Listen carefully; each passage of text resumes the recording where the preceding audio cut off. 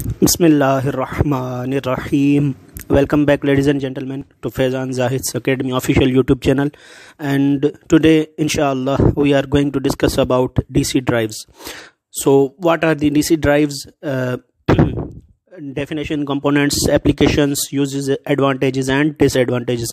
So, watch this video till the end, and let's start the video. What is DC drive? DC drive is a device used for speed control of DC motor.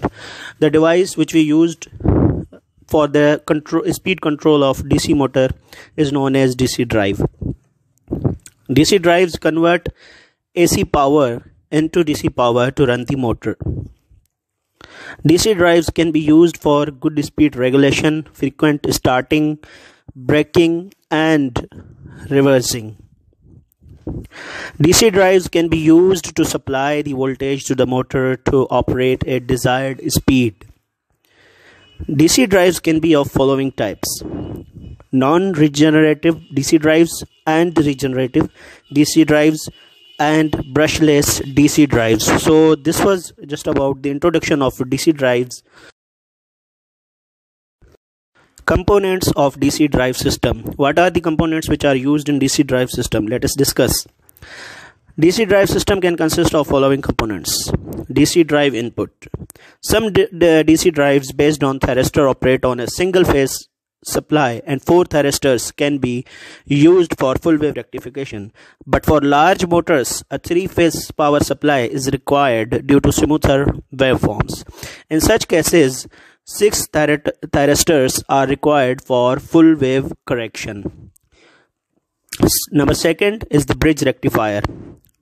It is an AC to DC converting device can be used in DC drive systems. For large DC motors, motor drives, there can be a wide use of silicon controlled rectifiers SCRs. The power component of a controlled DC drive can be a full wave bridge rectifier which can be driven by three phase or single phase supply. Number third is field supply unit.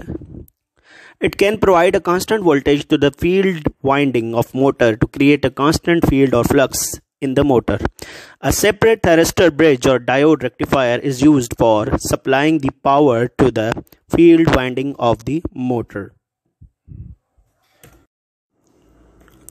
The next one is speed regulation unit. What is speed regulation unit?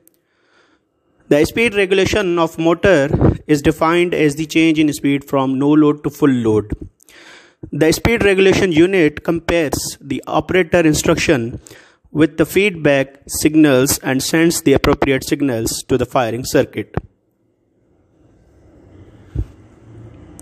Firing circuit. The firing circuit can be used to provide the trigger pulses to get or turn on the thyristors. It can be achieved by using a pulse ampli amplifier. In this gate drive circuit, isolation is also provided.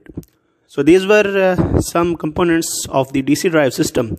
Now the next is applications of DC drives. Where the DC drives can be used.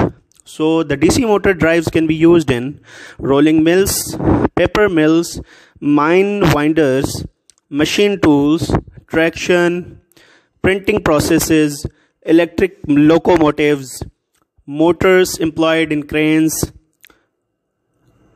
These are the some of the DC drive applications. Okay, there can be also other applications, but we have discussed here few of them. Now the next and last one is advantages and disadvantages of DC drives. What are the advantages? First, let us discuss advantages. DC drive technology is easy to implement, can be reliable, high start starting torque, wide range of speed control. Now let us discuss about this about the disadvantages of DC drives mechanical commutator can the uh, limit the maximum power rating and speed, speed.